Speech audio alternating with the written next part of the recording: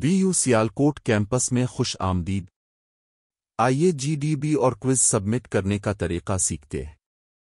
अब हम student ID और पासवर्ड करने के बाद साइन इन करते हैं। साइन इन करने के बाद होम स्क्रीन के ऊपर आ जाते हैं। इसके बाद दूसरा सेक्शन हमारे पास जीडीबी यानी ग्रेडेड डिस्कशन बोर्ड का है। इसमें टीचर्स अपने स्टूडेंट्स को अपनी ओपिनियन सबमिट करवाने के लिए एक टॉपिक देते हैं, जिस पर स्टूडेंट्स को अपने कमेंट्स देने होते हैं। इस टॉपिक की डिटेल देखने के लिए हम व्यू के लिंक के ऊपर जब क्लिक करेंगे तो इस जीडीबी से रिलेटेड डिटेल्स ओपन हो जाएँगी। यहाँ पर टॉपिक क्वेश्चन टाइटल और डिस्क्रिप्शन दी हुई है। पोस्ट मैसेज के ज़रिए स्टूडेंट अपना मैसेज पोस्ट कर सकता है। जीडीबी के बाद क्विज सेक्शन है। वर्चुअल यूनिवर्सिटी में अपने कोर्सेज के क्विजेज सबमिट करने का तरीका निहायत ही आसान है। आइए ये तरीका सीखते हैं।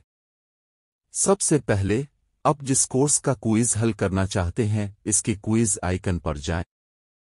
टेक क्विज के ऑप्शन पर क्लिक करें।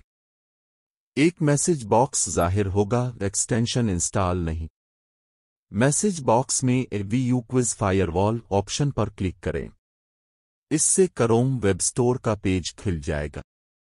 क्रोम वेब स्टोर के पेज पर एड टू क्रोम पर क्लिक करें और फिर ज़ाहिर होने वाले मैसेज बॉक्स से एड एक्सटेंशन को मुंतखब करें।